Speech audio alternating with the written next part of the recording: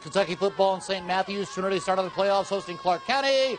Picking up in the first quarter, Rocks already up by seven. When I got more, Dale and Dawkins got loose on the run for a touchdown, and it was 14 nothing Rocks in front. There was more, much more, same score, same quarter. Quarterback Travis Wright, Donald Brooks, 40 yards.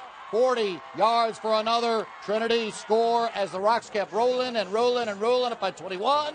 Same score, same quarter. Dawkins again, 10 yards for another. Rocks score 28 0 Trinity lead. Trinity won it 56 to 7 to make the second round of the playoffs. All right.